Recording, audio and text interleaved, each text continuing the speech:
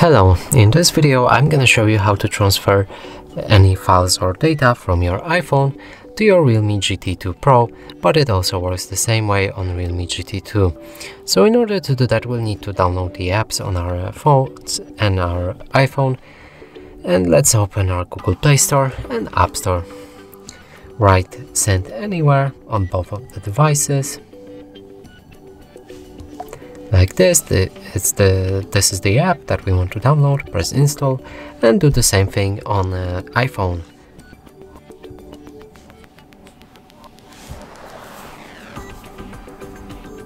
Download the app. We can open it here already.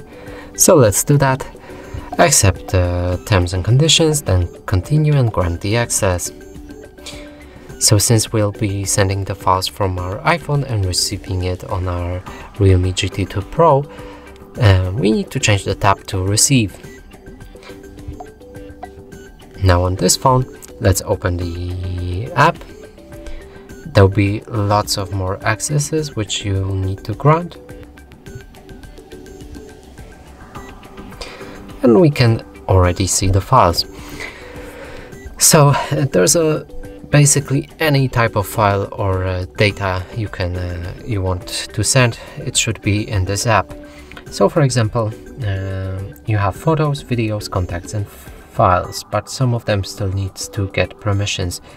In files you can find uh, more specific ones like RAR or zip files or text files any kind of stuff like that so let's go to photos and select three of them um, so it's kind of different than in Android. In order to select photos, you need to press on the bottom down left corner, uh, right corner, sorry, in order to select them. So we just selected three photos and we can press send.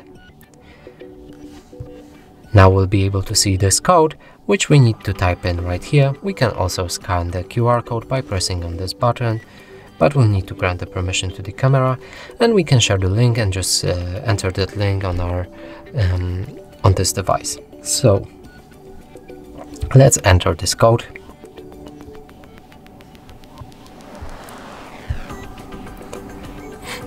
And we should shortly start receiving our files. Grant the access again.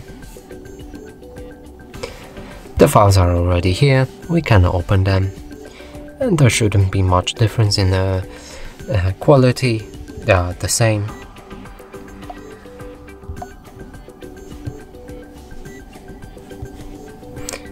And that's it for this video, hope you like it, please consider subscribing to our channel, leave a like and a comment below.